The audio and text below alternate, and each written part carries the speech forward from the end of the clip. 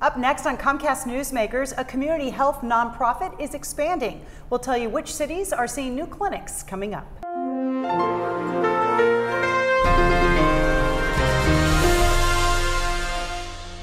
Hi, welcome to Comcast Newsmakers. I'm Sabrina Register. Today we're in Olympia, the beautiful Governor's Mansion, and joining me right now, Ron Chew, who is Executive Director, International Community Health Services Foundation. Ron, thanks so much for coming on the program. My pleasure. It's great to have you here today at the Governor's Mansion.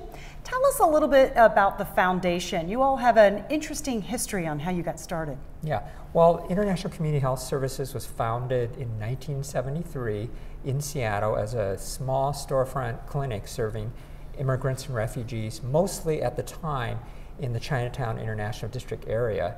And it really evolved uh, over the years to serve uh, the growing Asian, Pacific Islander, uh, and immigrant community. And today we've got clinics in a number of different places uh, in Seattle and now expanding outside of Seattle as well. So much further from just the international district area, now you're all over Seattle. Right. That uh, uh the international district is still our flagship sure. Uh, location, but again, we're in a lot of different places now. And you just mentioned who you're serving, Asian Pacific Islanders.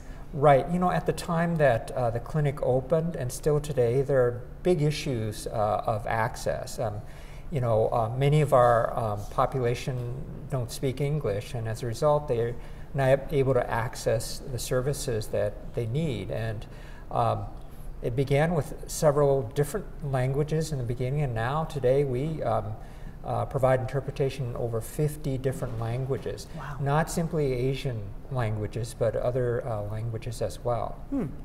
So, um, as you mentioned, you're all over Seattle now. You've grown quite a bit and evolved quite a bit since your uh, since your beginning. Um, so, in being in Seattle, it sounds like um, not only have you grown, but you've seen your numbers grow. The people who are accessing the services at the different clinics, and um, a lot of that you saw that increase during the recession years of 2008 and even leading up into 2014? Right. You know, um, again, the growth of uh, ICHS has mirrored kind of the growth of our immigrant refugee population. You know, we're now in an era of the Affordable Care Act where we've seen the expansion of Medicaid and services uh, that are really reaching populations that didn't have access to health care before. We serve as the uh, primary um, safety net, uh, providing primary care to these um, constituents. And, um, you know, it's uh, been a rewarding journey. We, you know, serve uh, folks who often, uh, again, don't have the income and the language capability to access the system. And so we provide that, that kind of network of services. And tell us where your new clinics are located.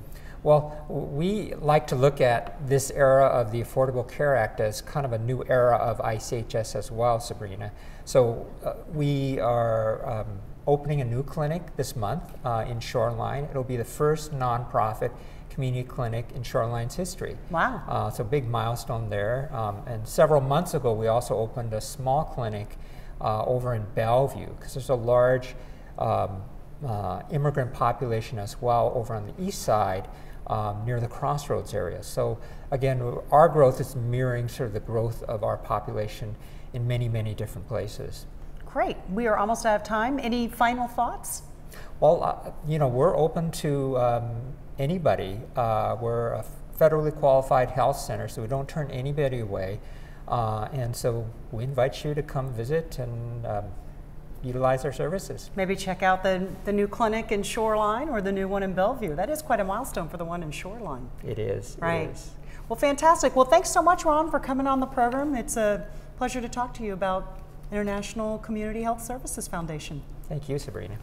Thanks for watching Comcast Newsmakers. We'll have headline news coming up at the top and bottom of the hour.